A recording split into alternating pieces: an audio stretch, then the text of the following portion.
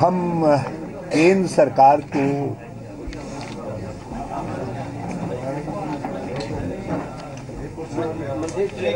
अरे, मंत्री प्रसाद जी को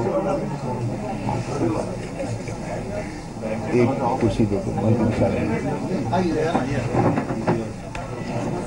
कपूर साहब, दिनेश जी, आप नीचे आ जाओ, मंत्री प्रसाद जी को आ जाओ। मंत्री प्रसाद जी।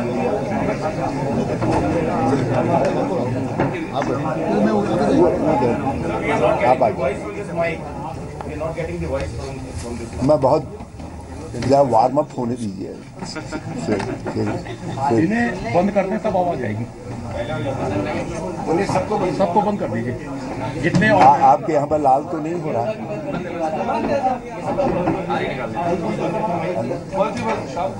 बंद कर देना।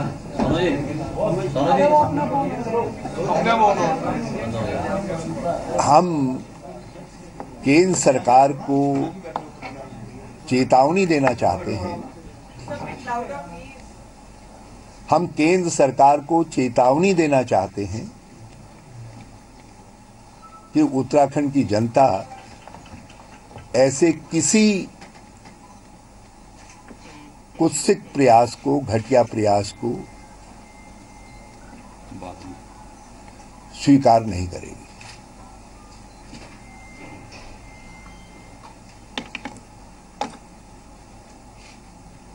उत्तराखंड की विधानसभा में प्रस्तुत बजट, उत्तराखंड की जन आकांक्षा का दस्तावेज़ है।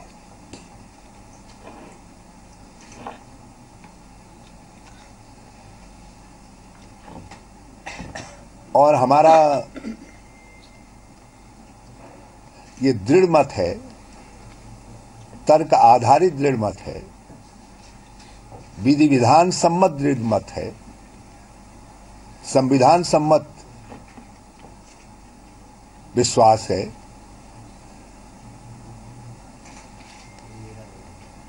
कि हमारा जो विधेयक है, जो बजट है,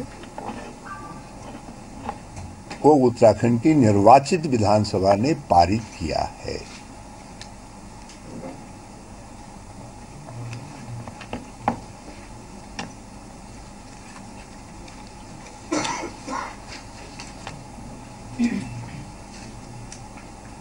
और संविधान इस बात को भी साफ़ तौर पर कहता है।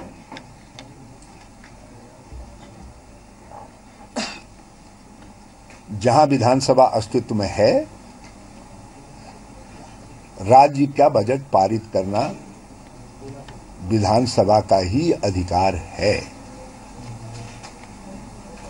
और उत्तराखंड की विधानसभा 18 तारीख को भी अस्तित्व में थी। और आज भी अस्तित्व में है। सस्पेंडेड एनिमेशन है। अस्तित्व में है। तो इसलिए इस बजट को हाईजैक करने का, इसको ओवरटर्न करने का, इसको बदलने का या इसको खत्म करने का रद्द करने का कोई भी प्रयास उत्तराखंड की जनता का अपमान है, उत्तराखंड के विधानसभा का अपमान है और विधानसभा के सदस्यों का अपमान है। और हमारी विधायी परंपरा का अपमान है।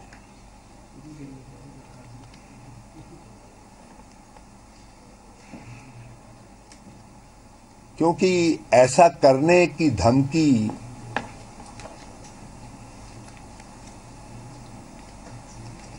केंद्रीय वित्त मंत्री से आई है। इसलिए हमने इसको बहुत गहराई से लिया है।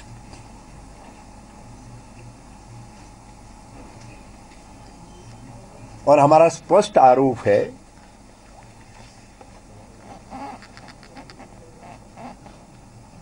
कि हमारा जो ये बजट, महिलाओं, नौजवानों किसानों पूर्व सैनिकों मजदूरों दलितों जनजातियों अल्पसंख्यकों पिछड़ों अति पिछड़ों को समर्पित है।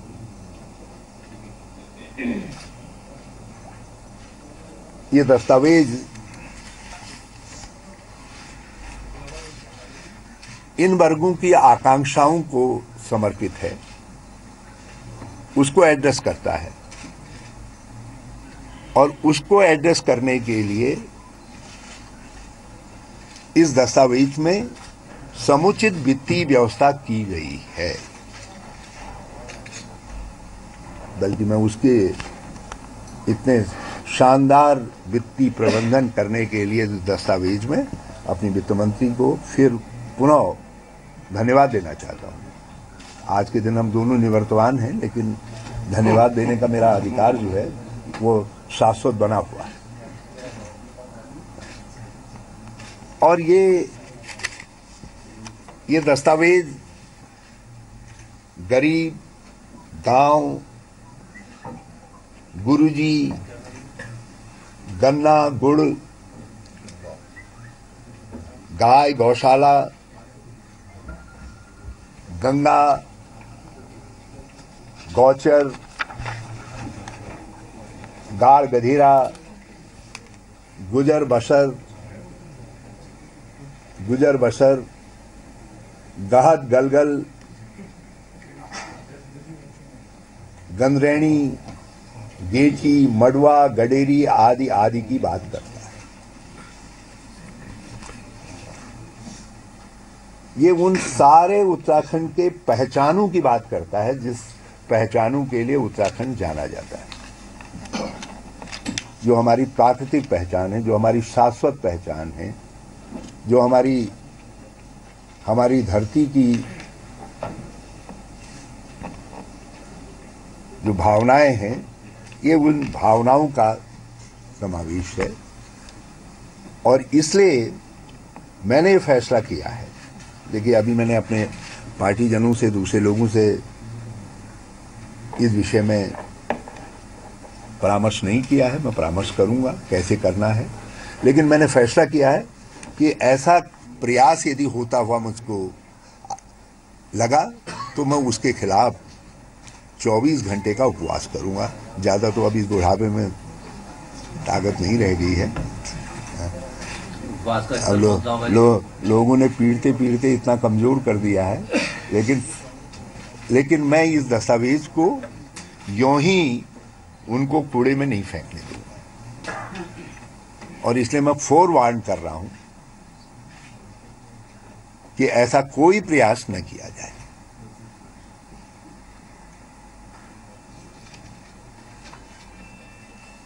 लीगली हम बहुत साउंड फुटिंग में हैं। कल मेरे सहयोगी नवप्रभात जी ने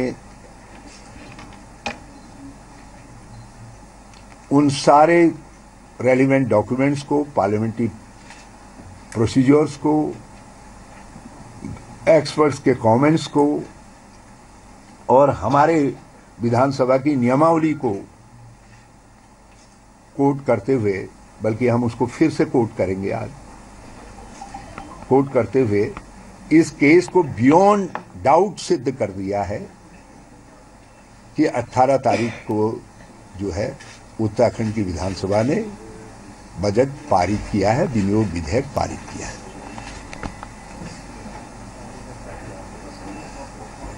जो एक बात और आपके संज्ञान में लाना चाहता हूँ, जिसको कल मैं और डिटेल में एक एक दो दिन के अंदर और डिटेल में आपसे बातचीत करूँगा।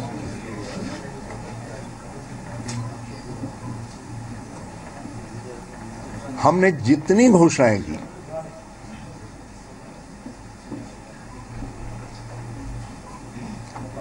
वो सारी घोषणाएँ।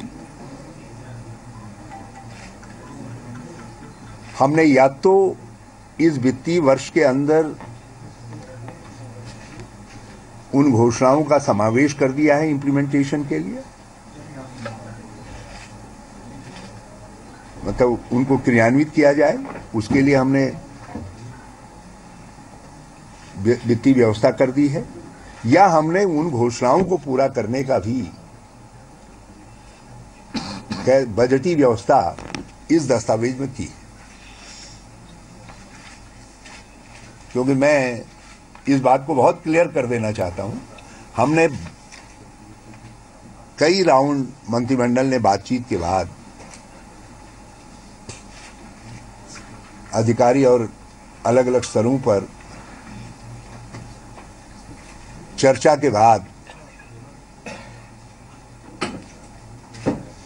इस बात को सर्वाधिक इंपॉर्टेंस दी कि कोई ऐसी घोषणा जो वर्ष 2015 के दिसंबर के माह तक तो छोड़ दीजिए, बल्कि वर्ष 2016 के जनवरी या 31 जनवरी तक भी की गई है। उन घोषणाओं को जो है 2016 सत्र के बजट में समावेशित कर दिया जाए, उसके लिए वित्तीय व्यवस्था कर दी जाए।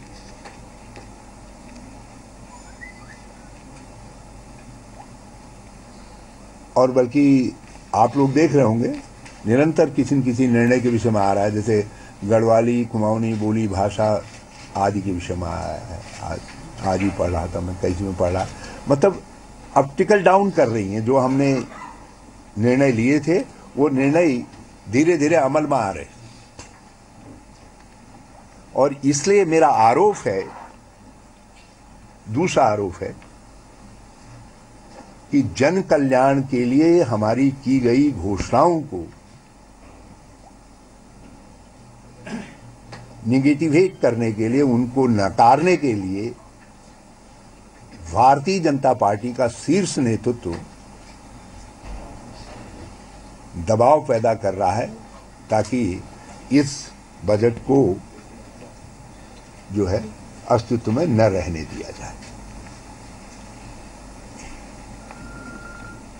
इस बजट को अस्तित्व में न रहने दिया जाए।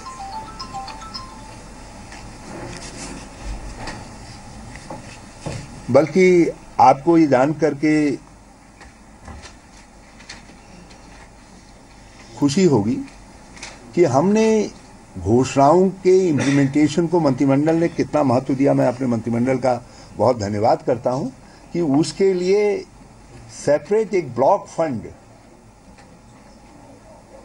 मतलब जो डिपार्टमेंटल तरीके से हो रही हैं, हो रही हैं। एक ब्लॉक फंड 200 करोड़ रुपए का भी रखा गया। अब मैं नहीं जानता कि जो राजनीतिक अनिश्चय भारतीय जनता पार्टी ने पैदा किया है। उसका क्या असर इस साल के खर्चे पर आया है? क्योंकि हमने निरंतर 2013-14 से 2014-15 में लगभग डेढ़ सौ, डेढ़ हज़ार करोड़ और इस साल हम 2013-14 के बेस ईयर को मान लें तो उसके ऊपर हम लगभग